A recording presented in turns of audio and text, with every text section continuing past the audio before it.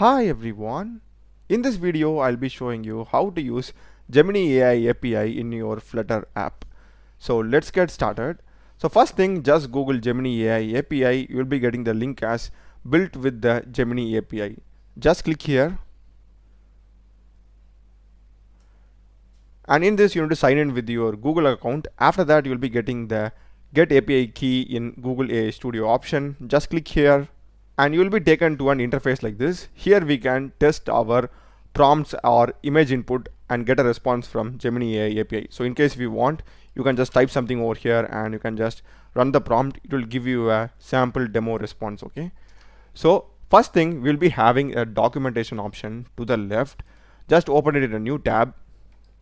And in this documentation to the left we'll be having get started. Under that we will be having getting started tutorials if we expand that we'll be having Dart flutter just click this and here we'll be having the entire documentation along with the code and code explanation how to configure Gemini AI API with Flutter. It has for both the Pro Vision that is the image model as well as the normal text model. So now let's just go with the text model and here we are having literally everything. So let's go and now follow these instructions okay. First thing is obviously we will be requiring the flutter package which is this one google generative ai so this is the one. If you want you can just you know go through the installations as well as the version. And here i'm having a normal flutter demo project over here. I didn't make any changes. I'm just going to like get a response from the gemini ai api that's the thing it's going to be about. So first thing as usual here you can see they have asked us to install this. So i will just copy this and go to the terminal and just paste it and that's it it has been added. And if I go to project and if I go to the pubspec.yaml file and if I scroll down here you can see it has been automatically added. So now we are good. Also do pubget and now let's go to the documentation again. And first thing is we need to import this particular statement. I will just copy this and to the top I will just have it over here.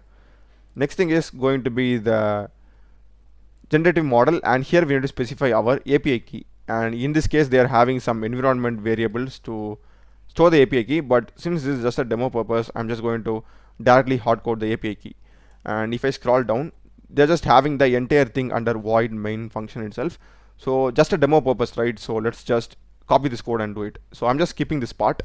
I'll just copy this and go to my void main function of the app just paste it over here. And here we need to specify our API key. So just have double quotes. To get the API key same thing just go to that playground and to the left you will be having this get API key. And you will be having this create API key option. You can just click here. And since I already have multiple existing projects I won't be having this option enabled. In case if you have this enabled you can just click on this and create an API key and I will just select my project and click on create API key. Just copying this. And if you want to remove the API key you can just delete it. That's totally up to you. I will just go here and paste it within double quotes. And it's throwing us an error because here we need to have async. Yeah now this is fine. We'll be getting an response for this. I will just go here and change the prompt to describe global warming something like this. Now let's just run it. I would recommend to run it fully rather than hot reloading it. Just go to run.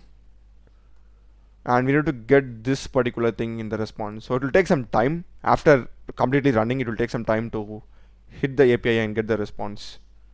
Yeah so here you can see we have got the response over here and along with some spaces. So the code is working. Actually we have successfully done it. And in case if you want to use this particular thing within uh, functions. Let's suppose say that I want a on click and in the click it should trigger the API so we can also do that. For example we are having this increment counter. So this increment counter is a on click function for this button. If we click this the increment counter function will be called and it's present at the on pressed of this floating action button. So I'm just going to add this code inside this function just to show it even works under on click. So just cut this and just put it inside here. Yeah that's it. And it should be also a async function. That's it. Clear this and let me just rerun it again.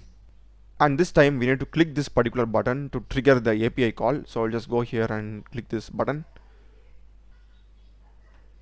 So I've got the response.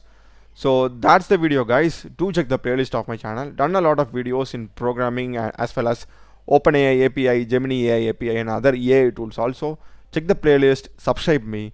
Thanks for watching